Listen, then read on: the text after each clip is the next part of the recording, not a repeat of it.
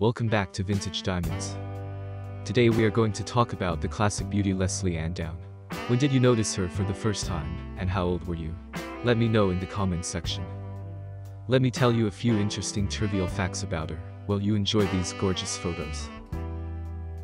In 1970, she was voted most beautiful teenager in Britain. Modeled since she was 10 years old. She left school when she was 12 years old.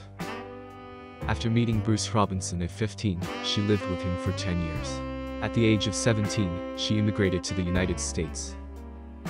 In the course of filming Days of Our Lives, her father suddenly had a heart attack, pains in his chest, and ended up undergoing a quadruple bypass operation.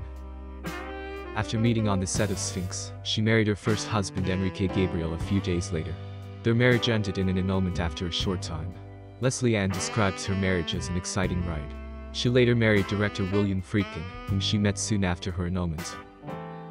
Her nude photos appeared in British men's magazine Mayfair, after she made her name in Upstairs, Downstairs.